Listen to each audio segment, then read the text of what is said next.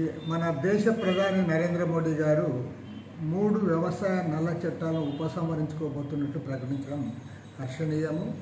ఒక రకంగా చెప్పాలంటే దేశవ్యాప్తంగా రైతులు గత సంవత్సర కాలంగా జరిపిన పోరాటానికి లభించిన విజయంగా దీన్ని భావిస్తాను ఎందుకంటే ఎక్కడో మారుమూల పల్లెల్లో కాకుండా దేశ రాజధాని ఢిల్లీ నగర సరిహద్దుల్లో ఒక సంవత్సర కాలం పాటు సుదీర్ఘ పోరాటం రైతులు చేయడమే కాకుండా ఆ పోరాటంలో దాదాపు ఏడు వందల యాభై మంది రైతులు మరణించినా సరే మొక్కవోని దీక్షతో ముందుకు సాగి సాగిపోయారు. అదేవిధంగా ఉత్తరప్రదేశ్ రాష్ట్రంలో సాక్షాత్తు కేంద్ర హోంశాఖ సహాయ మంత్రి యొక్క కుమారుడు రైతుల ప్రాణాలు పొట్టన పెట్టుకున్నా సరే వారు ఏమాత్రం కూడా వెనక్కు తగ్గలేదు. ఆ పోరాటానికి సాధించిన విజయంగా నేను భావిస్తాను. అయితే ప్రధాని గారు ఇవాళ అనుమానాలు వ్యక్తం చేసే పద్ధతుల్లో అనుమానాలు కలిగే పద్ధతుల్లో ఆయన చెప్పారు. ఇది రైతుల కోసమే చట్టాలు తెస్తే వారు సరిగా అర్థం చేసుకోలేడం కరెక్ట్ కాదు.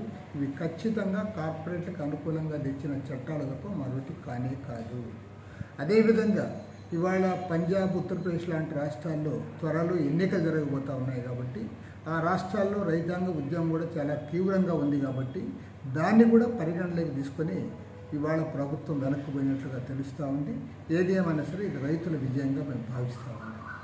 దీన్ని ఇవాళ ఆదర్శంగా తీసుకొని మన ముఖ్యమంత్రి జగన్మోహన్ రెడ్డి గారు కూడా ఇవాళ రాజధాని రైతులు ఏడు వందల రెండు రోజులుగా ఇవాళ పోరాటాన్ని కొనసాగిస్తూ ఉన్నారు.